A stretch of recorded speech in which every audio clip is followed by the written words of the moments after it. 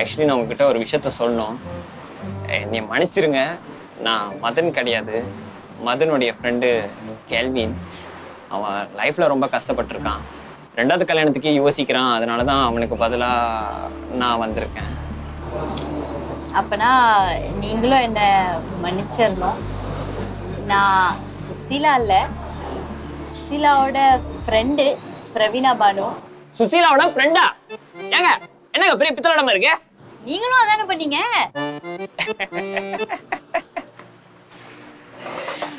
ஆமாம்ல என்ன ஒரு சிங்க் பாருங்க நம்மளுக்கு. நான் டைரக்டாகவே விஷயத்துக்கு வந்துடுறேங்க. என் ஃப்ரெண்டு லைஃப்பில் ரொம்ப கஷ்டப்பட்டிருக்கான். கொஞ்சம் கோவக்காரன் தான் ஆனால் ரொம்ப நல்லவன். என்னை விட ரொம்ப நல்லவனா பார்த்துக்கோங்களேன். அவன் யார் வந்து ஹெல்ப் கேட்டாலும் அவன் செய்வாங்க. எனக்கு ஏதோ இந்த ஜோடி கரெக்டாக அமையும்னு எனக்கு தோணுது. நீங்கள் என்ன நினைக்கிறீங்க? நான் நினைக்கிறது தான் நீங்களும் நினைக்கிறீங்க. அவளும் வாழ்க்கையில ரொம்ப கஷ்டப்பட்டு வந்திருக்கா. ஸோ ரெண்டு பேரும் சரியான ஜோடியா இருப்பாங்கன்னு நினைக்கிறேன். சூப்பருங்க. அப்போ நான் இது அவன்கிட்ட சொல்லிடுறேன். நீங்களும் சொல்லிடுறீங்களா?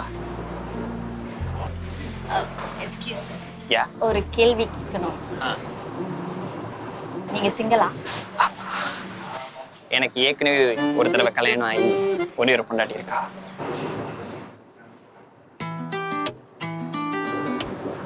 ஏய் என்ன மச்சி சொல்ற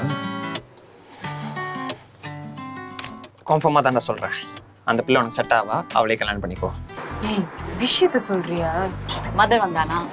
உனக்கு பதிலா நான் போய் பார்த்தேனா? அவ்வளோ பேசணும். ஆனா கடைசியில தான் தெரிஞ்சிச்சு அவன் மதன் இல்ல மதனோட ஃப்ரெண்டு கெல்வின். ஆனா பரவாயில்ல. அவனும் பார்க்கிறதுக்கு நல்லா தான் இருந்தான். டேய் என்னடா ஓப்பனிங்ல பயங்கர ஏமாத்து வேலையா இருக்கு?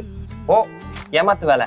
ஆ, அப்ப நம்ம பண்ணது மட்டும் ரைட்டாடா இந்த பாரு நம்ம பண்ணது சரினா அதுங்க பண்ணதும் சரிதான். நம்ம நம்ம செய்யலாம். நம்ம பொம்பளை பிள்ளைங்க. நம்ம பாதுகாப்புக்கு நம்ம செய்வோம். ஏ தப்பு தப்பு தான் அது என்ன ஆம்பளை பொம்பளை? தேவையில்லாத ரீசன் சொல்லாத. என்ன சொல்ல வர? பாரு மச்சான் அவகிட்ட நான் எல்லாத்தையும் பேசிட்டேன். அவளும் ஓகேன்னு சொல்லிட்டா. அவனும் அவன் வாழ்க்கையில நிறைய கஷ்டப்பட்டிருக்கான்.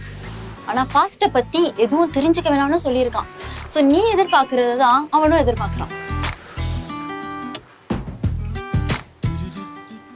டேய் மச்சான் அவளும் ஃபேமிலிக்காக தான்டா கல்யாணத்துக்கு ஓகேன்னு சொல்லியிருக்கணும்.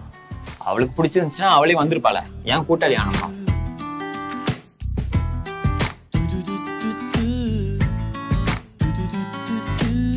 இருந்தாலும் அவன் கொள்கை எனக்கு பிடிச்சிருக்கு. உண்மையா இருக்கான் சரியான விஷயத்த சொல்லியிருக்கான். நான் சொல்றேன் இந்த காலத்துல உண்மையான ஆம்பளைங்களை பாக்குறது எவ்வளவு கஷ்டம் தெரியுமா? மச்சான் நானே சொல்றேன்டா. இந்த தடவை உங்க அக்கா பார்த்த பொண்ணு. செம்மையான பொண்ணு. செம்ம தெளிவானவடா. இல்ல நான் கொஞ்சம் தெளிவா. ஒண்ணா போய் பாருங்க கால் நீ போயிருந்த அவனை பேசவே விட்டுருக்க மாட்டேன். ஏதோ நான் போனதால அவன் ஓகே அப்படின்னு சர்டிபிகேட் கொடுக்கறதுக்கு ஒரு ஆள் இருக்குன்னு சந்தோஷப்படு. அட்லீஸ்ட் நீ இப்ப ஒரே இல்லாம கல்யாணம் பண்ணலாம்.